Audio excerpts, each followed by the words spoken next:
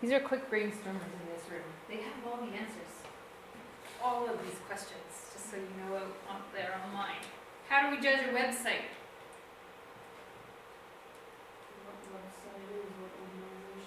Okay, so we're thinking about what organization made this website.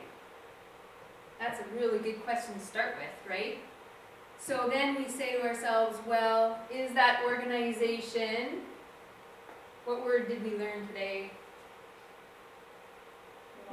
Reliable.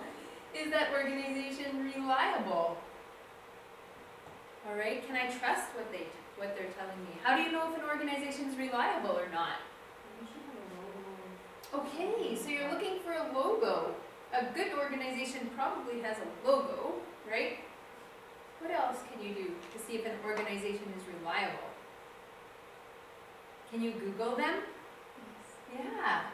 So maybe you check what other people are saying about that organization. So you could Google them. Yeah.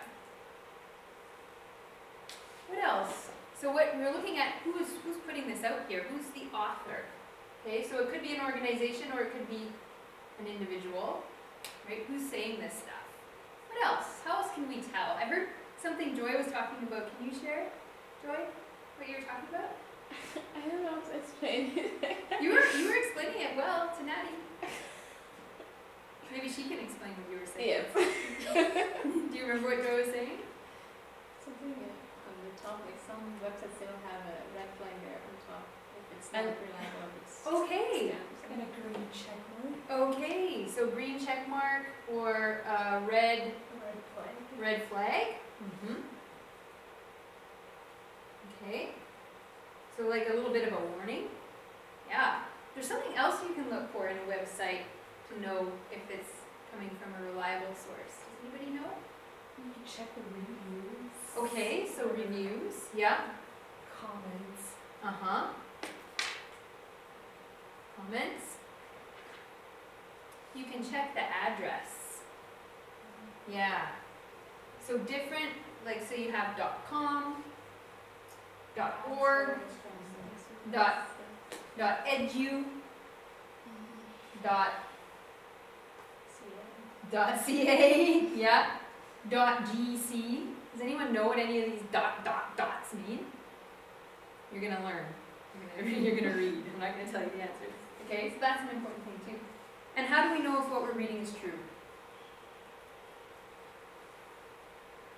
Google it.